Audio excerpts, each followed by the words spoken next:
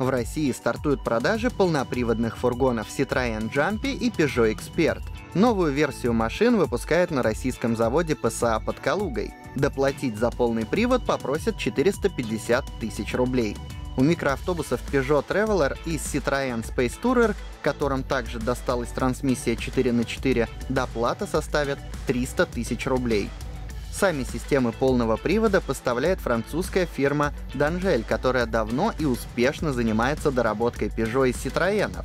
В основе трансмиссии лежит вискомуфта, способная передавать до 100% крутящего момента на задние колеса.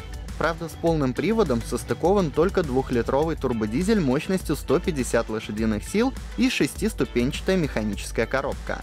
Масса установочного комплекта составляет 85 килограммов. В комплект доработок также входят увеличение клиренса до 200 мм и установка металлической защиты днища. На машины распространяется стандартная заводская гарантия.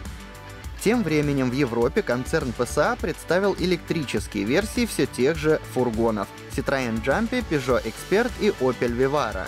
Единственное внешнее отличие машин на электротяге — это лючок на переднем левом крыле, за которым скрывается разъем зарядного устройства. На выбор заказчикам предложат два варианта аккумуляторов. С базовым и, соответственно, более дешевым грузовичок сможет проехать 200 километров. Более емкая батарея увеличивает дальнобойность до 300 километров. Удивительно, но группа ПСА пока не раскрыла ни мощность электромоторов, ни время зарядки. Хотя для этого еще есть время. Продажи реальных электрофургонов стартуют как минимум через полгода.